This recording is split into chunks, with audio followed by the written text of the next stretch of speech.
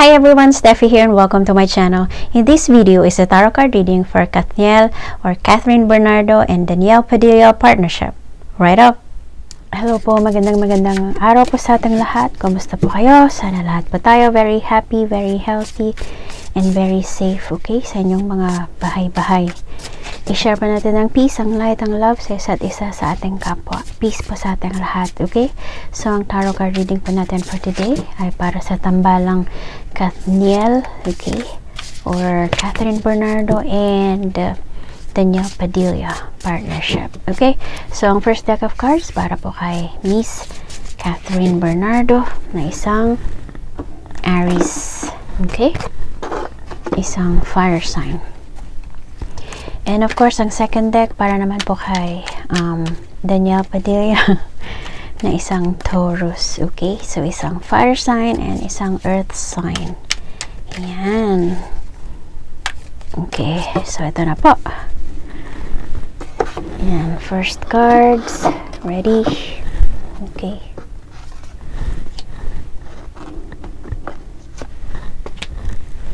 Mm. Ayan. Three of Cups and Four of Wands. Ayan. Celebrations. Homecomings, reunions. Okay. Para kay um, Catherine. Ayan. Circle of support. Mariding enjoying time with friends or with family. With relatives. Okay. Very sociable. Socializing. Ganun. Kaya maraming events. Maraming gimmick. Ayan. Si Danielle um, stability. Maring nakabili din ng mga bagong ari-arian.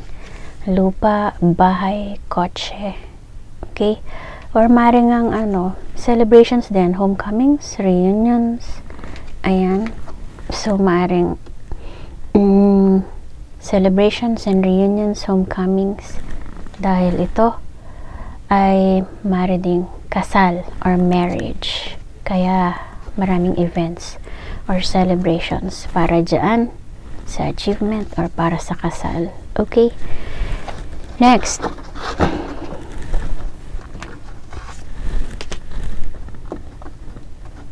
Three na naman. Hmm.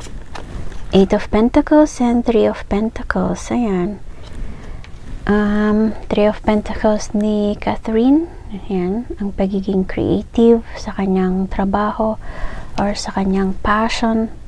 Maaari ding um, teamwork or collaboration. Okay? Nasa-showcase yung kanilang magandang teamwork or collaboration ni Danielle. And then si Danielle, ayan, um, ina-enjoy ang trabaho or ang employment. Okay? And ang kanilang teamwork or ang kanilang collaboration ay yan um, inaayos niya or working things out para magtagal o di ba? Para maging maayos pa rin ang kanilang relationship or ang kanilang pagsasama okay? Pero mukhang mm, yan mukhang merong third party din involved. Okay? So maaring yun ang kanilang obstacle ang third party. Okay? Next. Wow. Ang ganda naman. The sun and the magician. Ayan so kung ano man yung pangarap ni Daniel para sa kanilang dalawa o ba diba? ang promise ni the sun o happiness, success yes mangyayari lahat o ba diba? ang ganda mm. love, contentment satisfaction support nandun na lahat magaling ganda ni the sun Ayan. eight of wands and queen of cups. Eight of wands ni Ka Catherine. Yan, maring maraming parating na good news. Maraming communication. Maraming kukontak sa kanya para magkaroon siguro ng bagong offers. Or maring business. Yan, si Danielle.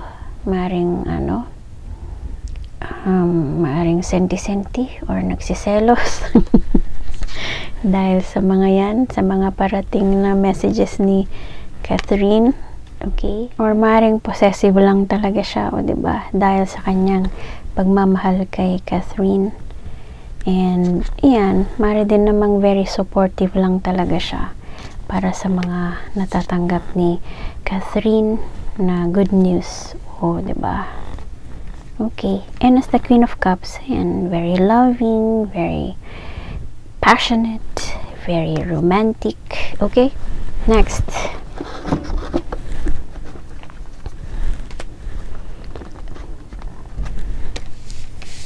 Ayan.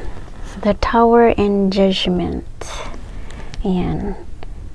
Maring kay Catherine, may mga unexpected events, unexpected moments. Maring ito nga, mga unexpected na good news. Mari ding ang unexpected ay may matapos or may ma sira or may magiba, magwakas, maputol. Okay. Si Daniel, ayan, merong final decision. Final choice siguro. Kaya kung meron mang unexpected na parating o oh, di ba? Merong meron at merong final decision si Danielle right yun next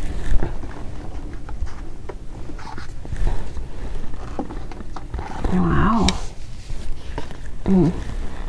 The Devil and Knight of Cups. Ayan. Knight of Cups ni Catherine, proposal or marriage, or ang kanyang Prince Charming na si Danielle. O, ba diba? Amazing. Love is in the air pa. So much in love. The Devil ni Danielle. O, mga tukso or mga toxicities, mga toxic sa buhay. Maring mga bisyo drinking, smoking, gambling, maaari ding greed or obsession or yan, malakas pa rin ang kanilang obsession or attraction sa isa't isa. O, ba? Obsessed pa rin sila sa isa't isa. So much in love. O, yun. Okay? Pero kung mga tukso man ito or mga bisyo, kailangan sigurong iwasan mo na ni Danielle. Okay? Next.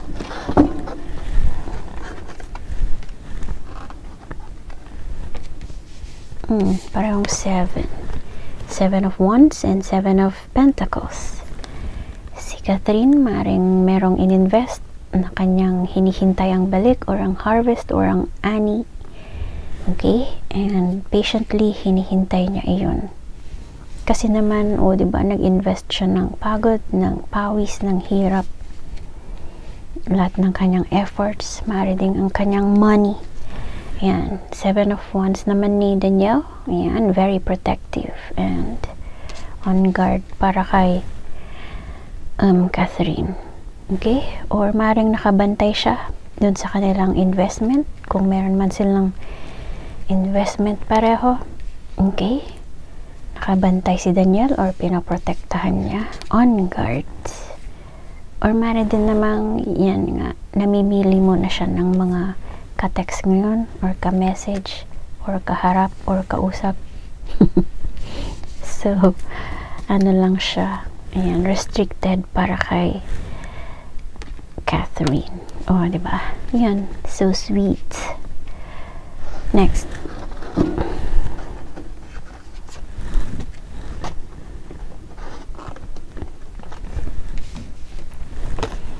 Two of Pentacles and Queen of Wands. Ayan si Catherine. Enjoying, masaya, very passionate, very creative, very skillful. Ang daming talents, ang daming gustong gawin. Okay? Versatile. Hmm. Si Daniel naman, ayan. Merong kailangang piliin. Magkaroon ng final decision or magkaroon ng choice So, siguro nga nakapamili na siya dahil meron na siyang final decision. Okay?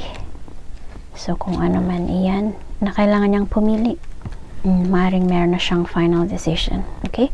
So, last cards na po para sa Kathniel. Okay, last cards.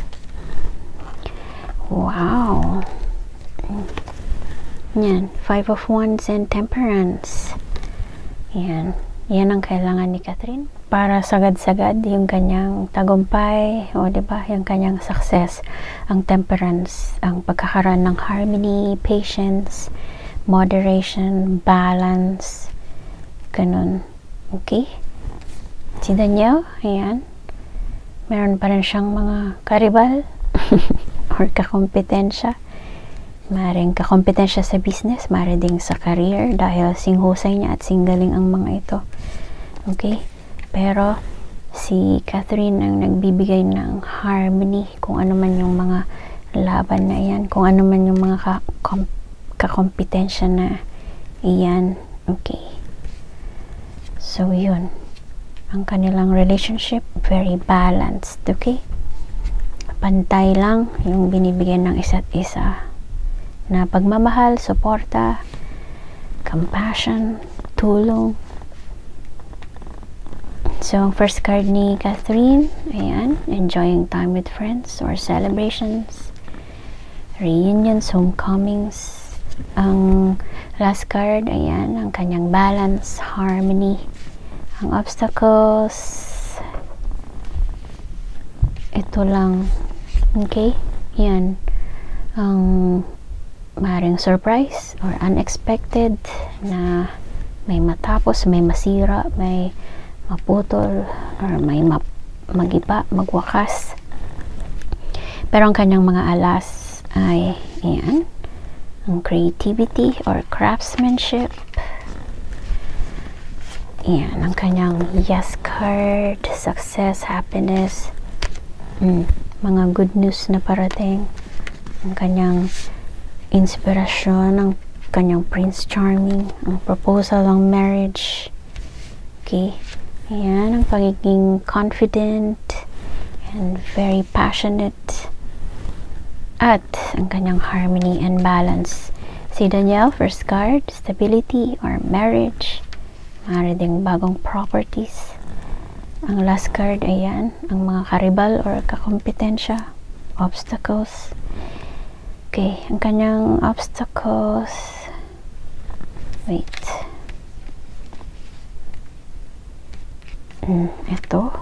Yan, maring mga bisyo, tukso, or anumang toxicities. Obsession, envy, greed. Maaari ding ito, yung namimili siya sa dalawa. Okay? Parehong importante. Kailangan niya magkaroon ng final decision or final choice. At ang mga karibal or kakompetensya. And then the rest, puro na mga alas. Ito, kanyang stability or marriage. Yan. Ang pag enjoy sa trabaho. Ang pagiging magician, di ba? Pagiging focused and inspired para magtagumpay sa buhay. Okay? Yan. Ang kanyang pagiging oh, Queen of Cups na very loving, very romantic, very passionate, and yan ang kanyang final decision. Okay? Yun. So, yun po yung tarot card reading ng Kathniel. I hope you enjoyed and thank you so much po for watching. Again, please don't forget to like and subscribe to my channel. Abangan nyo po yung susunod nating tarot card reading. Shout out to my best ever family. Light and love to all. Bye for now.